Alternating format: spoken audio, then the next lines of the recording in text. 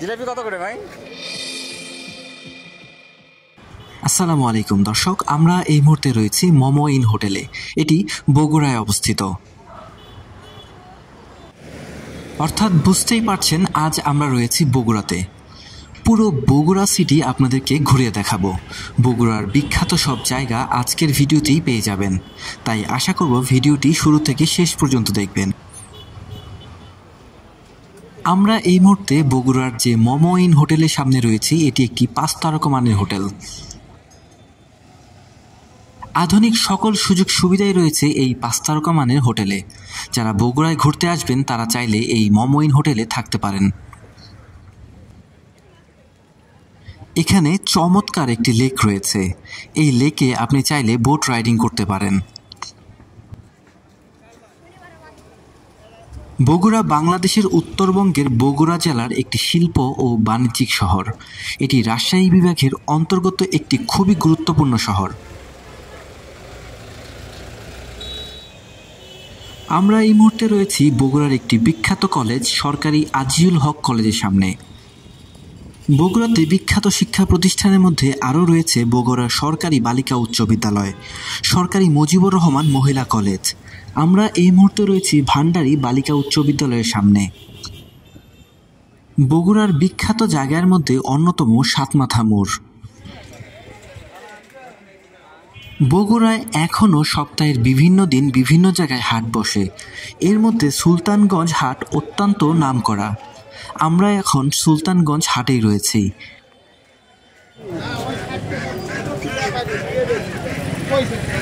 হাঁস কত করে?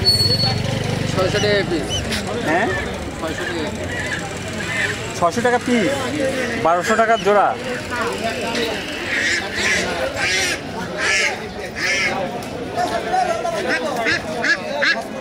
এই হাটে হাঁস ছাড়াও পাওয়া যায় মাছ মুরগি এবং গরুর গোস্ত। যমুনা নদী কাছে হওয়ায় এখানে যমুনার ইলিশ সহ বিভিন্ন প্রজাতির মাছ ওঠে এই হাটগুলোতে।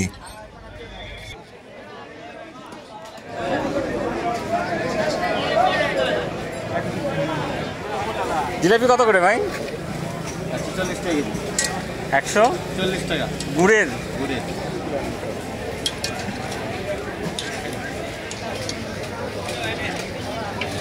হাটের মধ্যে এই সকল মিষ্টি আইটেমগুলো কিন্তু খুবই জনপ্রিয়। যারা হাটে বাজার করতে আসেন তারা বাড়ির মানুষদের জন্য এই সকল মিষ্টি আইটেম বাসায় নিয়ে যান।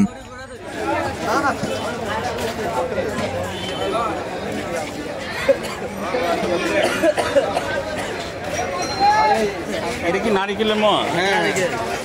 কত করে কেজি? কি হ্যাঁ না তিলের এটা কত করে? ওই দামি। তিনশো কেজি।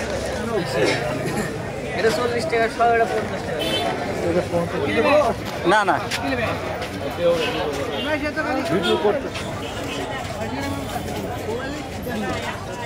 এটা কি জিনিস? গজা। ওই এটাই হয়তো করে করলে লবঙ্গ হয়ে যেত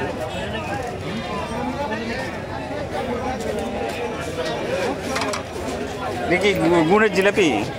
কত করে কেজি? একশো চল্লিশ। একশো তাহলে এখানে বসি? হ্যাঁ। বসি।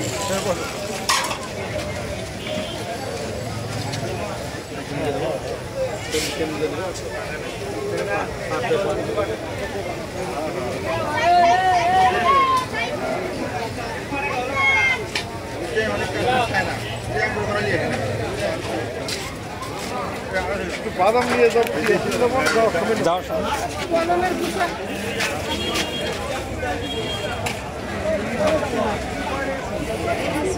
এই নলা কত করে? আপনার দেড়শো টাকা। এক পিস দেড়শো টাকা? এদিকে গরু? হ্যাঁ গরু মহিষেরটা শেষ হয়ে গেছে। এক পিস একশো বিশ টাকা। পিসের সাথে গ্যাটিস টেস্ট দেওয়া লাগে। শুধু কি এক এক পিস কি দেড়শো টাকা দিয়ে নিবে? গ্যাটিস ম্যাটিস দেওয়া লাগে।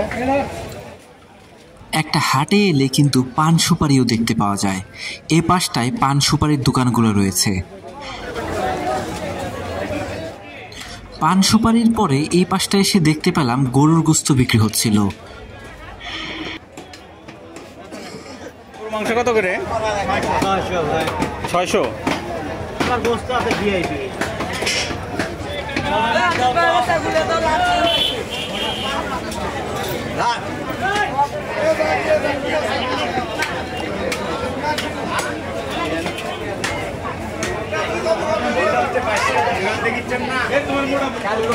কাল বুঝছেন আইলে আইলে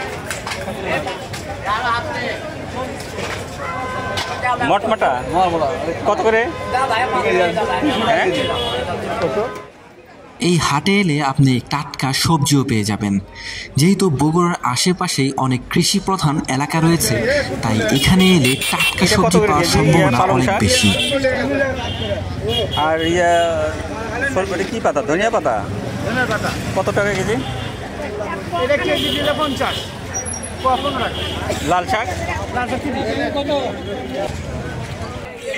এটি বগুড়ার বাংলাদেশ কৃষি উন্নয়ন কর্পোরেশন। আমরা এই মুহূর্তে রয়েছি বনানীর করতন নদীর সামনে। এই নদীটি এখন ছোট হতে হতে এই অবস্থায় চলে এসেছে।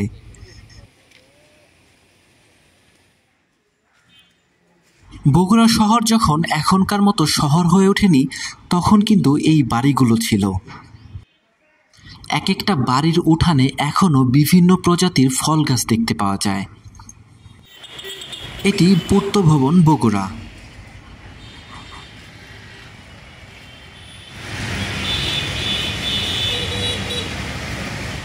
এর পাশেই রয়েছে বগুড়ায় অবস্থিত সড়ক ভবন। আমরা এই মুহূর্তে রয়েছি বগুড়া সিটি বালিকা উচ্চ বিদ্যালয়ের সামনে। এটিও কিন্তু বগুড়ার অত্যন্ত নামকরা একটি শিক্ষা প্রতিষ্ঠান। এটি বগুড়ার বাংলাদেশ ব্যাংকের একটি শাখা।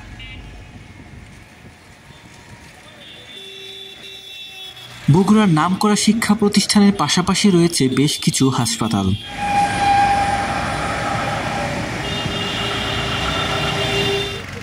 এটি মোহাম্মদ আলী হাসপাতাল বগুড়া। এটি প্রায় দুশো পঞ্চাশ শয্যা বিশিষ্ট একটি হাসপাতাল।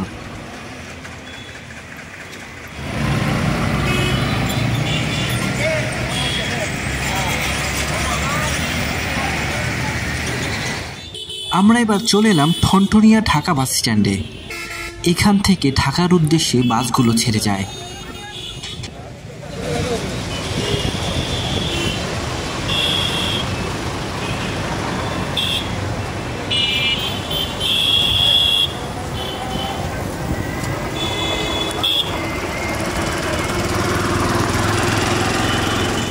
আমাদের হাতের বামে রয়েছে ঠনঠনিয়া ঈদগা মাঠ। এটি প্রায় শতবর্ষী পুরনো একটি ঈদগা মাঠ। ঠনঠনিয়া ঈদগা মাঠের পাশেই রয়েছে ভাই পাগলার মাজার। সাদা নীলে রাঙানো এই ভবনটি একটি মসজিদ। এটি ভাই পাগলার মাজার সংলগ্ন মসজিদ নামে পরিচিত।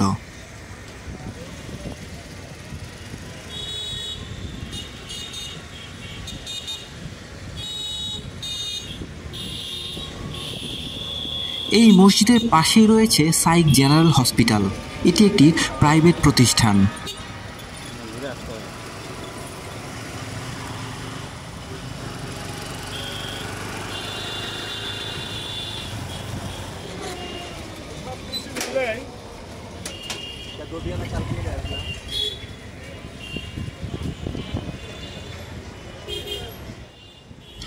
আমরা এই মুহূর্তে যে সড়ক দিয়ে চলছি, এর নাম সাতমাথা টু বনানী রোড।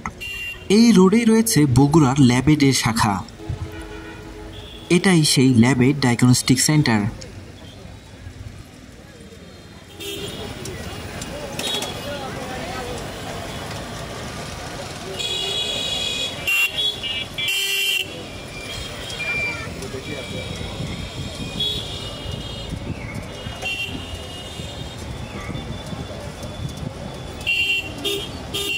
আমাদের হাতের ডানে রয়েছে rainbow community centre and diagnostic centre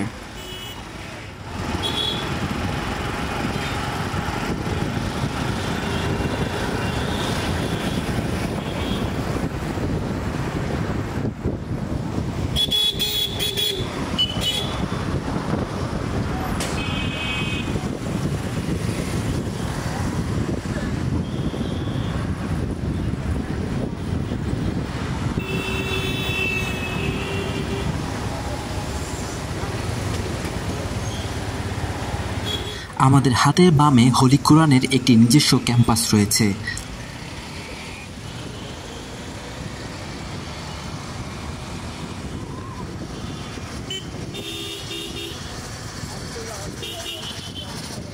আমাদের হাতের বামে রয়েছে হেলথ সিটি স্পেশালাইজড হসপিটাল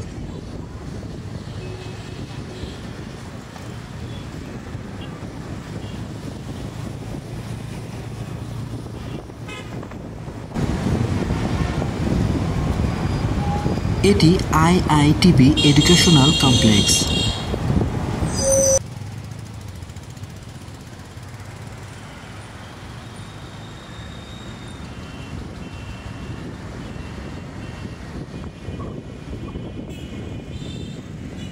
এটি police lines school and college. বন্ধুরা, বুঝতেই পারছেন একটার পর একটা শিক্ষা প্রতিষ্ঠান রয়েছে এই বগুড়া শহরে। আমাদের হাতে ডানে রয়েছে র্যাব বারোর কার্যালয়।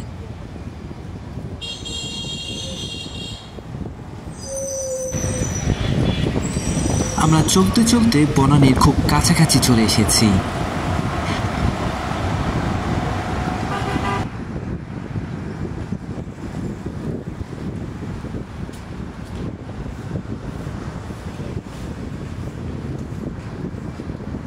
আমাদের হাতের বামে রয়েছে শাহ সুলতান কলেজ।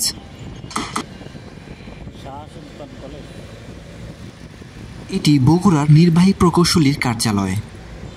বন্ধুরা, ইতিহাস থেকে জানা যায় বাংলার প্রাচীনতম একটি নগরী হচ্ছে এই বগুড়া। মৌর্য যুগে এটি পূর্ণবর্ধন নামে পরিচিত ছিল। বগুড়ার প্রাচীন নাম পূর্ণবর্ধন। এটি বরেন্দ্রভূমি বলে খ্যাত অঞ্চলের অংশবিশেষ। আজকের রাজশাহীও এই অঞ্চলভুক্ত ছিল। অঞ্চলটি নয় থেকে বারো শতক সেন রাজাদের দ্বারা শাসিত হয়। পরে তেরোশো শতকের শুরুতে তা মুসলিম শাসকদের অধীনে আসে।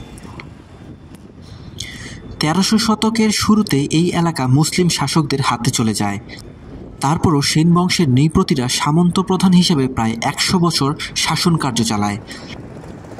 এরপর অচ্যুত সেনের আচরণে রাগান্বিত হয়ে গৌড়ের বাহাদুর শাহ সেনদের বিতাড়িত করেন। উনিশশো একাত্তর সালে মুক্তিযুদ্ধের সময় বগুড়া সাত নম্বর সেক্টরের অধীনে ছিল। বগুড়া শহর বগুড়া জেলার মধ্যভাগে করতোয়া নদীর কোল ঘেঁষে অবস্থিত। করতোয়া নদী উত্তর থেকে দক্ষিণে প্রবাহিত হয়ে বগুড়াকে দুই ভাগে বিভক্ত করেছে। বগুড়ার উত্তরে গাইবান্ধা এবং জয়পুরহাট জেলা পশ্চিমে নওগাঁ জেলা। দক্ষিণে সিরাজগঞ্জ জেলা এবং পূর্বে যমুনা নদী। সাম্প্রতিক বছরগুলোতে বগুড়া শহরের অবকাঠামোগত প্রচুর উন্নতি সাধিত হয়েছে। নতুন শহর পরিকল্পনার মাধ্যমে রাস্তাগুলোকে পুনর্নির্মাণ এবং দুই লেনে উন্নীত করা হয়েছে। এখানকার মাটি বেশ উর্বর এবং এখানে প্রচুর শস্যের উৎপাদন হয়। বিগত কয়েক বছরে বগুড়ার লাল মরিচের উৎপাদন ব্যাপকভাবে বৃদ্ধি পেয়েছে, যা কিনা একশো কোটি টাকার ব্যবসায় পরিণত হয়েছে। ব্যবসা বাণিজ্যে উন্নতির সাথে সাথে এখানকার ব্যাংকিং ব্যবস্থাপনাতেও এসেছে নতুন মাত্রা। এই বগুড়াতে চলছে এশিয়া হাইওয়ে নির্মাণ কাজ, যা পুরোদমে চলছে। এর ফলে এই সড়কগুলো আরও অনেক বেশি প্রশস্ত হচ্ছে। এই বগুড়াতেই রয়েছে বেশ কিছু দর্শনীয় স্থান। বগুড়ার মস্তানগড়ের কথা তো কম বেশি সবারই জানা। বগুড়ার দই সারা দেশে বিখ্যাত। এই মহস্থানগড় বগুড়া শহর থেকে এগারো কিলোমিটার দূরে অবস্থিত। এখানে পূর্বে রাজা পরশুরামের রাজ্য ছিল। এখানে বেহুলা, লক্ষিন্দরের বাসরঘর ও গোবিন্দ ভিটা রয়েছে। আছে জাদুঘরও। প্রিয় দর্শক, আমরা এই মুহূর্তে বনানীর জাহাঙ্গীরাবাদ ক্যান্টনমেন্টে রয়েছি। বগুড়ার সংস্কৃতির কথা যদি বলতে হয়, সুফি, মারাঠি, লালন ইত্যাদি নিয়ে বগুড়ার সংস্কৃতি অত্যন্ত সমৃদ্ধ। বগুড়া থেকে প্রকাশিত কয়েকটি আঞ্চলিক পত্রিকার মধ্যে রয়েছে দৈনিক করতোয়া, দৈনিক আজ ও আগামীকাল, দৈনিক উত্তরকোণ দৈনিক বগুড়া, দৈনিক চাঁদনি বাজার, দৈনিক উত্তরাঞ্চল সহ উল্লেখযোগ্য বেশ কিছু পত্রপত্রিকা। বগুড়া শহরে শহীদ চান্দু স্টেডিয়াম নামে আন্তর্জাতিক মানের একটি ক্রিকেট স্টেডিয়াম রয়েছে। প্রিয় দর্শক, আমরা এই মুহূর্তে ক্যান্টনমেন্ট এলাকার সামনে দিয়ে যাচ্ছি।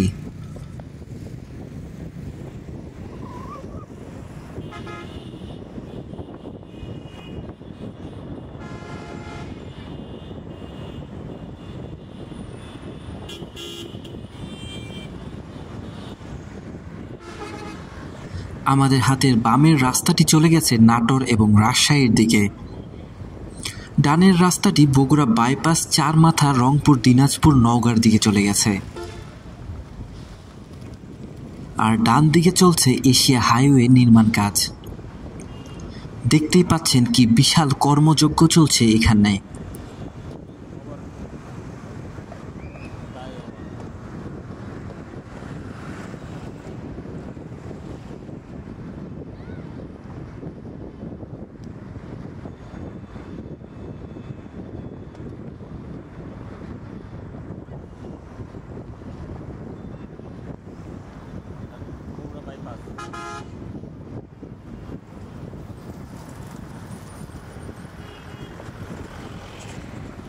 প্রিয় দর্শক, আপনাদেরকে এক নজরে দেখিয়ে নেই এশিয়া হাইওয়ে নির্মাণ কাজের অগ্রগতি কতটুকু হয়েছে। এক লাখ কিলোমিটার দৈর্ঘ্যের এই পাকা রাস্তা এশিয়ার সঙ্গে যুক্ত করবে ইউরোপকে। পণ্য ও যাত্রী নিয়ে বিনা বাধায় লরি, বাস, গাড়ি চলবে এই রাস্তায়। প্রকল্পটির নাম এশিয়ান হাইওয়ে। এই প্রকল্পের আয়তায় অসংখ্য সড়কের একটি নেটওয়ার্ক গড়ে তোলার কথা। এই নেটওয়ার্কের মাধ্যমেই যুক্ত হওয়ার কথা দুই মহাদেশের দুই দূরতম প্রান্তের। রুট ম্যাপ অনুসারে একজন যাত্রী ঢাকার একটি হাইওয়েতে প্রবেশ করে বিনা বাধায় তামাবিল হয়ে ভারত ও মিয়ানমার অঞ্চল দিয়ে হো চি মিন সিটি হ্যারন বেইজিং, সিওল পেরিয়ে সবশেষে টোকিওতে পৌঁছাতে পারবেন। অন্য রুটটি বের হবে বেনাপোল দিয়ে। তারপর কলকাতা, নয়াদিল্লি, লাহোর, ইসলামাবাদ, কাবুল, তেহরান হয়ে ইসলামাবাদে গিয়ে শেষ হবে। প্রিয় দর্শক, আমাদের আজকের ভিডিওটি আপনাদের কেমন লাগছে কমেন্টস করে জানাতে ভুলবেন না। ভালো লেগে থাকলে একটি লাইক দিন বন্ধুর সাথে শেয়ার করুন। আমাদের চ্যানেলে নতুন হয়ে থাকলে আমাদের চ্যানেলটি সাবস্ক্রাইব করতেও ভুলবেন না। চলতে চলতে চলে এলাম পল্লী বিদ্যুৎ সমিতি একে। এটি বগুড়া পল্লী বিদ্যুৎ সমিতি এক।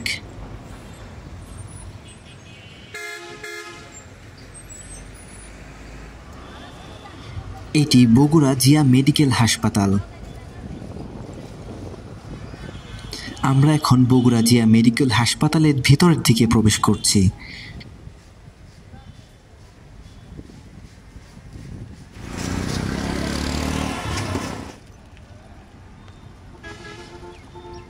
আমরা এখন বগুড়ার বিখ্যাত নাচ গার্ডেন হোটেলের বাইরের এরিয়া দিয়ে ঘুরব। আপনাদেরকে ঘুরিয়ে দেখো বাইরের এরিয়াটাও আসলে কতটা সুন্দর।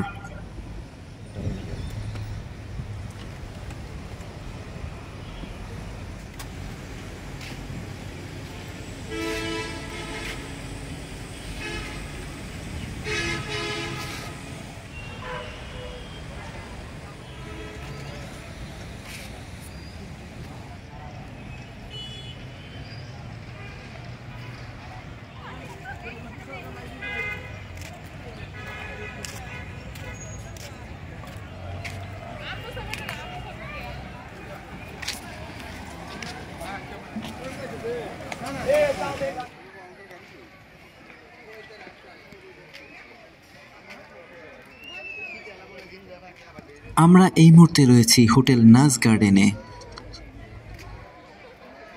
এটি একটি চার তারকা মানের আবাসিক হোটেল হলেও এখানে আপনি চাইলে ঘুরতে আসতে পারবেন।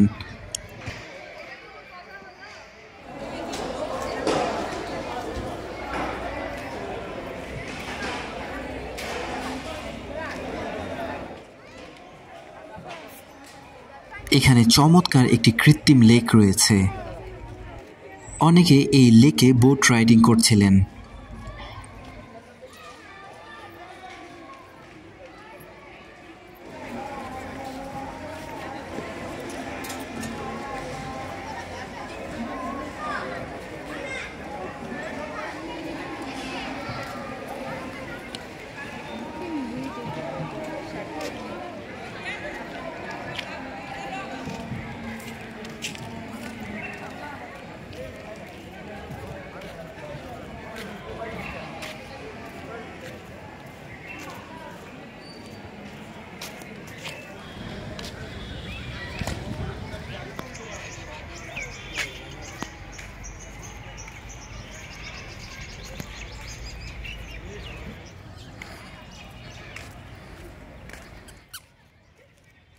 প্রিয় দর্শক, পরবর্তী ভিডিও দেখার আমন্ত্রণ জানিয়ে বগুড়ার নাচ গার্ডেন থেকে আজকের মতো বিদায় নিচ্ছি। আশা করছি ততক্ষণ পর্যন্ত সবাই অনেক অনেক ভালো থাকবেন। আল্লাহ হাফেজ।